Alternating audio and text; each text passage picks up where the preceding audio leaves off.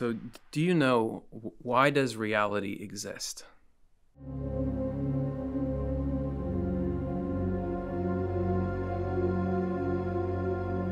I never would have thought of that, but it, that makes total sense. What is the purpose of a human life?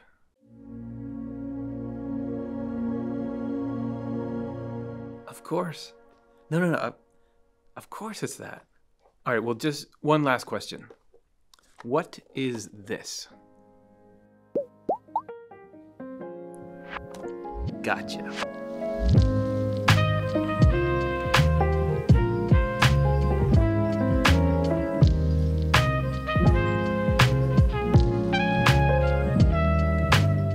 Hey, what's up, everybody? My name is Curtis. This is the show Life After Death. This section, we're talking about how heaven time is not time. Swedenborg makes the claim that angels, you know, angels like, oh, they, they don't know what time is. So, how would that work? And does that mean, who cares? Does that mean anything for us? We begin in Heaven and Hell 163. In heaven, which Swedenborg went and visited and saw, and you are headed there. So pay attention. In heaven, there are no years or days, but only changes of state.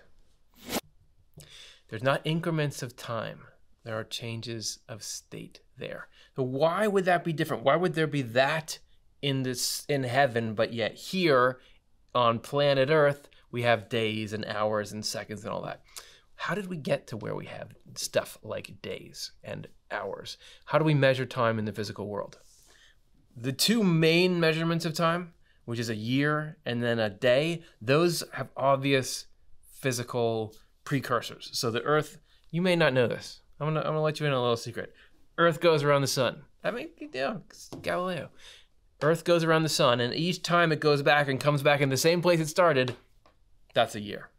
Makes total sense why you would call that one unit of something. Also, Earth is spinning pretend I'm spinning the earth like a basketball. It spins on its axis, and when you get back to the same place you were before, that's a whole day, night. That's a, that's one day. So that makes that's you can't get around that. There's just of course you'd have days and years. Hours, we have 24 hours in a day. Nah, we kind of made that up. I mean, in this website called Science ABC, they said the 24 hour day concept comes from the ancient Egyptians. They're always doing stuff. They divided the day into 10 hours with devices like shadow clocks and then added one hour at each end. So you could kind of tell by based on the shadow, but there were, it started to get arbitrary. Uh, ancient Greeks proposed this 24 hour day. Then to divide an hour into 60 minutes, that was from ancient Babylonian mathematics. But we, we made that up kind of all based on the, the day and the year.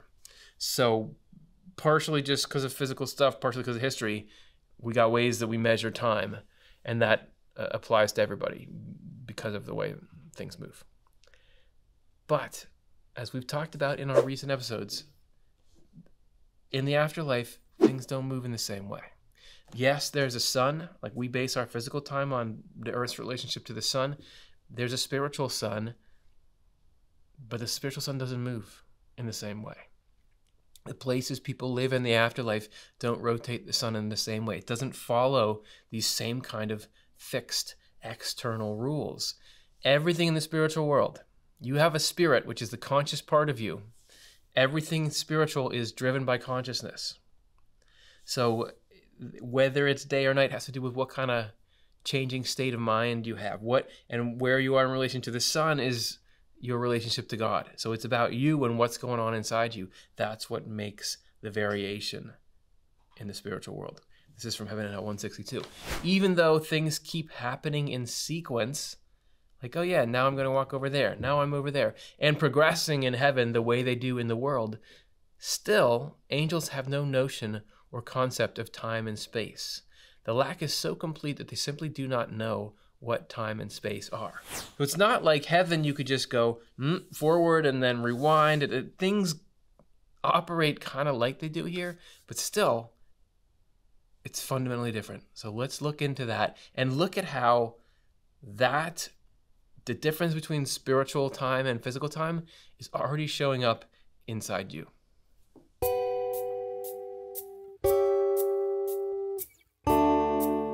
Part two angels don't know what time is. If you were to start to to talk to an angel, let's say that you you got to, oh, I'm having this vision, I get to see an angel, and you said to that angel, Can I talk to you about fixed increments of time? Can I talk to you about hours and seconds? And the angel might just like, hmm, what? What are you talking about? Is heaven hell 165? Since angels have no concept derived from time, as we in our world do, they have no concept of time or of the things that depend on time. They do not even know what all these temporal things are, like a year, a month, a week, a day, an hour, today, tomorrow, or yesterday. In case you wanted a really comprehensive list of you know, time-based stuff. Which is a bizarre statement for Swedenborg to make because he says that angels are just people who have gotten into heaven, and which is heaven is like a state of mind. So their bodies have died. They're in the afterlife. They they've opened up to a bunch of love and truth from God, and so now they're in heaven. But they they used to be people. I guess some of them died when they were little, you know, young young children. Maybe didn't really realize much about time. But you'd think they'd still have a knowledge of time. And I was pondering this, and this is one thing that came to me. You know, let me tell you a story. One time, I tutored someone in eighth grade math. So I was looking through this newsletter for my local community, and they said, "Hey, here's a job. You can tutor somebody in eighth grade math." And so there was this girl who needed help with her math, and I thought, I'm, you know, I'm not like I didn't major in math, but I was I was pretty good at it, and it's just eighth grade math, so I know I can do this. I did not know how to do her math.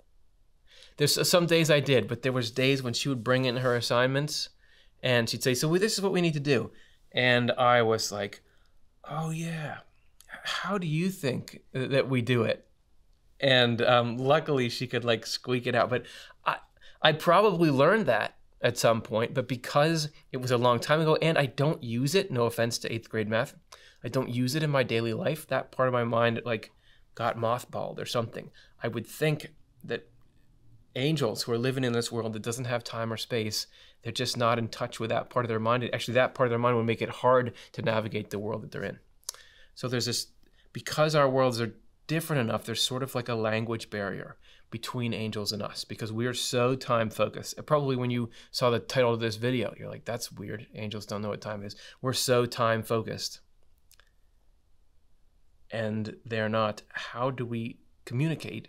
Luckily, Swedenborg describes a sort of like a Google Translate that happens. Like when we communicate with them, our time based concepts, there's an analog in the non time based world that they live in. This is from Heaven and Hell 165. When angels hear these expressions from one of us, angels are always kept in contact with us by the Lord. So they're aware in some form of what we're doing. So when we're going on and on about time stuff, they perceive states instead, instead and things that have to do with state so our natural concept, time, is changed into a spiritual concept, state of mind, with the angels. This is why expressions of time in the word mean states, and why things proper to time, like the ones listed above, mean the spiritual things that correspond to them. Check out the Bible and just look at the way the Bible talks about time in this eh, in Psalm It says, "I consider the days of old and remember the years of long ago." From that day, eh, oh, Isaiah in particular. So from that day, in that day, Tyre will be forgotten for seventy years. There's so much time. Uh, the, the patriarchs living to these very old but very regimented ages. Exodus is now. This is when you shall offer on the altar two lambs a year old regularly each day. So on, so on. That is because the Bible is the intersection between natural and spiritual things.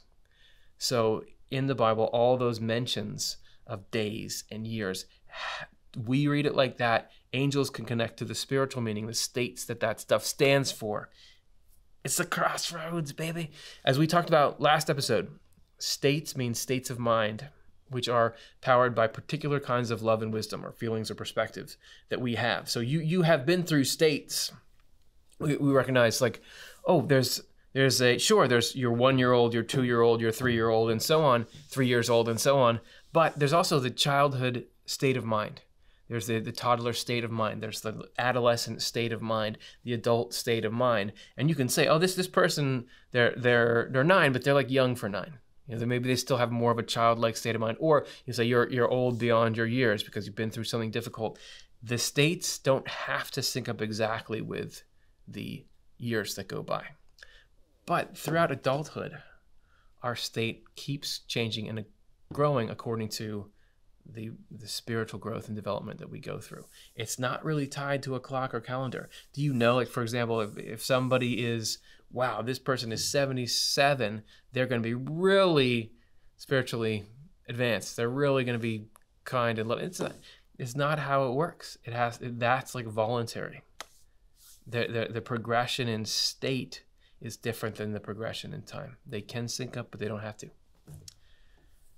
So states are not really tied to a clock or a calendar. They're tied to something deeper in us, and that's how the angels see it. So here's the here's the translation mechanism. Here's how it works. If you're ever talking to angels, when we think about a day or a year, or the Bible talks about a day or a year, angels think about states of life in general. So if we think spring or morning or infancy or childhood, all of which are about these beginnings, angels think the beginning of a new phase of love and wisdom. They are in spring. They are in morning when they are in the beginning of a new phase of love and wisdom. When we think summer, noon, youth, or young adulthood, angels think a phase of love and wisdom in its full vitality.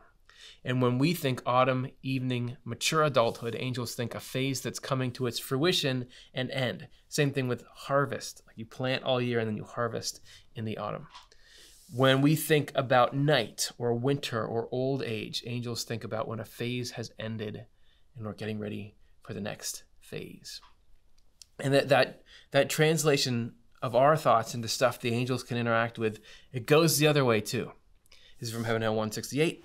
The angels who talk with us never use the natural concepts that are proper to us, all of which derive from time, space, matter, and the like.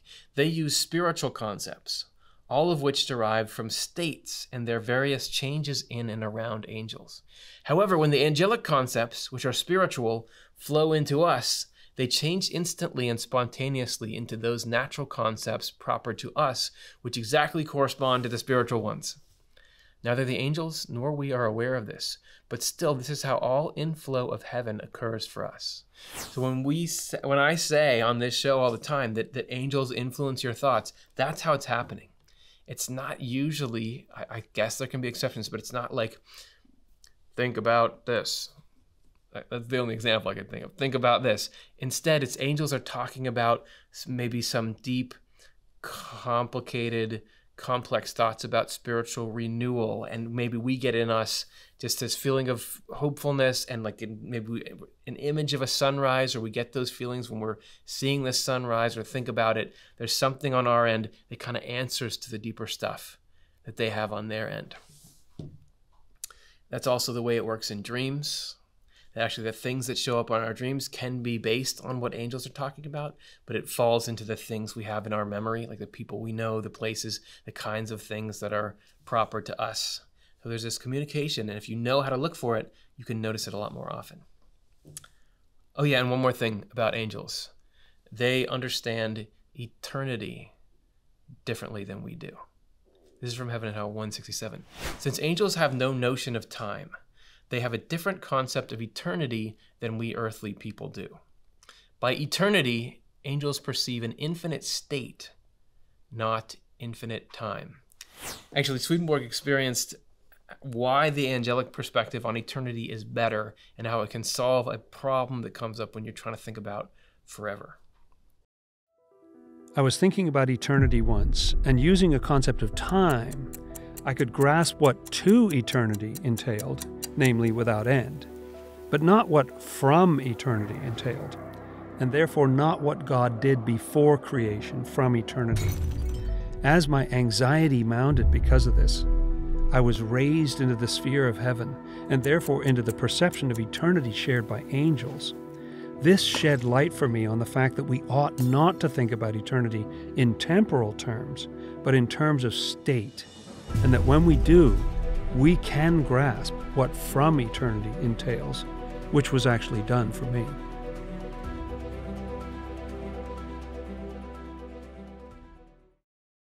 Yeah, it's freaky to think about. Well, okay, what was God doing a hundred years before any creation happened? What was He doing a billion years before? What about twenty trillion gazillion? That's like, ugh, it's creepy, but that's not really how it is. It's an eternity of state, which I don't know what that means.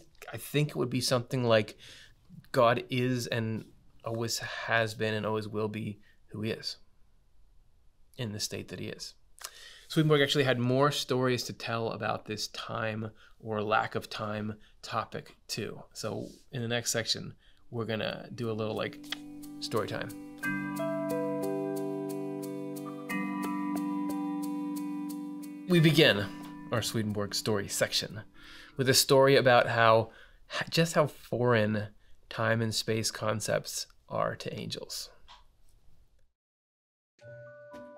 There were some angels who were let very intimately into my thoughts, all the way into natural ones that contained a mass of material from time and space. However, since at that point they couldn't understand anything at all, they promptly withdrew. And after they had withdrawn, I heard them talking, saying that they had been no in darkness. So time and space thinking actually messed messed them up. Thinking about time and space for them who live in a non-time and space-based world that seemed to, that seemed to drag them into a much more restricted, limited level of thinking, which is it's, it's what we know, but it's really dim for them compared to the heavenly thought that they're in. Swedenborg tells more in this same passage about this story. And this is the paragraph starts off I have been allowed to know from experience what angels' ignorance of time is like. There was a particular individual from heaven whose nature did allow him to be let into natural concepts such as we have. I talked with him afterward, person to person, and at first he did not know what it was that I was calling time. So I actually had to tell him how the sun seems to travel around our Earth and make years and days, and that as a result, years are divided into four seasons, and into months and weeks, and days into 24 hours, and that these times recur at fixed intervals. This gives rise to our expressions for time. He was astonished when he heard this, and said that he had not known that kind of thing, but only what states were.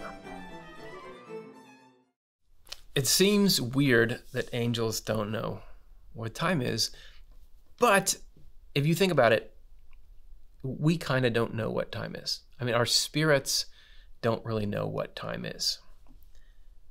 Your spirit's a conscious part of you. So you can have something that, and I just want to show a couple of examples of how we experience both. We're very aware of time, but also this timeless nature of our consciousness.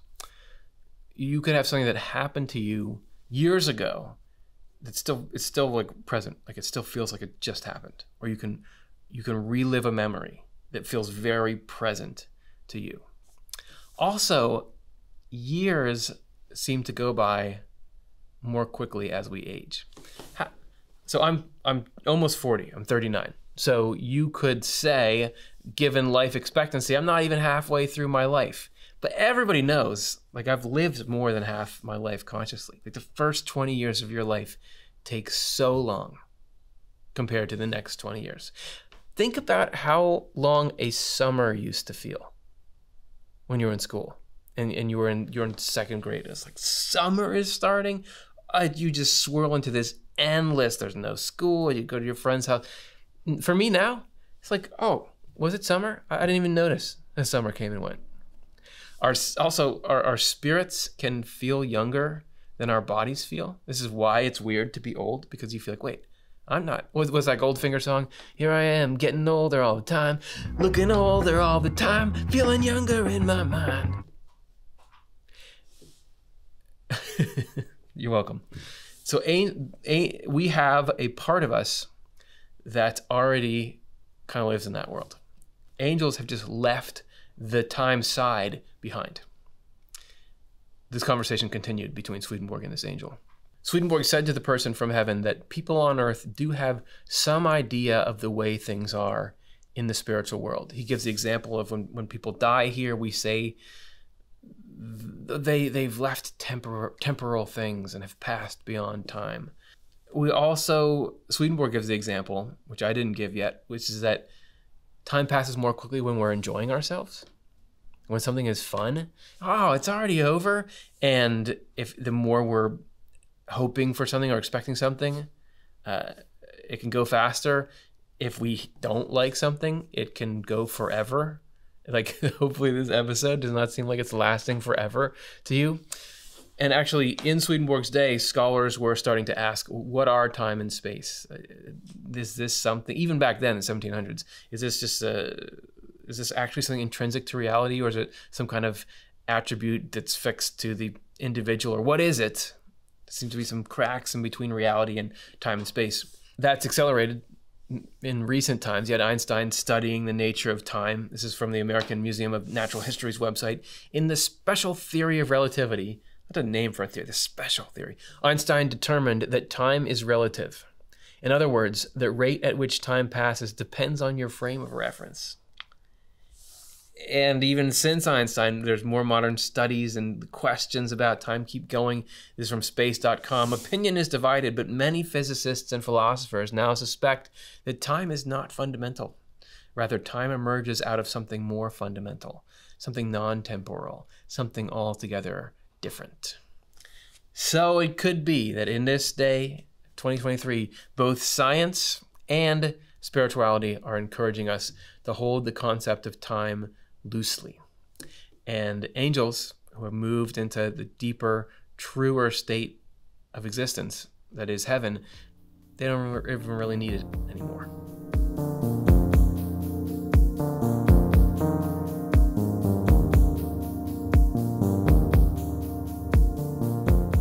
I think the advice that Swedenborg would give us about this whole time thing is that we even though we do have to operate based on time in this world, don't reject the notion of sometimes thinking beyond time.